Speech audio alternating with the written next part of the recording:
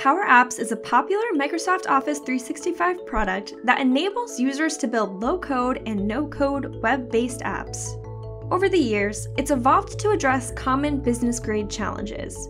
Here are five Power Apps use cases Employee onboarding. Because Power Apps can interact with other Office 365 workloads and data, it's great for building an onboarding tasks app that helps support HR and new employees, like linking policies, sharing contact info, and gathering necessary new hire forms.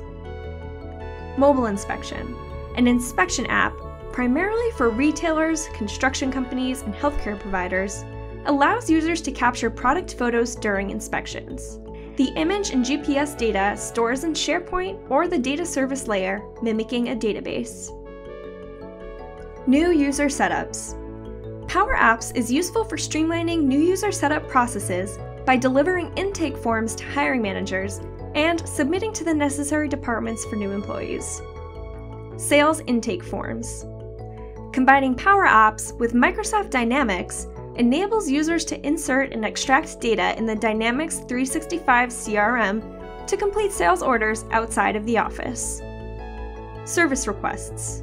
Power Apps can be used to build an interactive help desk tool that lets users submit IT tickets and organizations collect requests for facility maintenance, human resources, purchase orders, and more.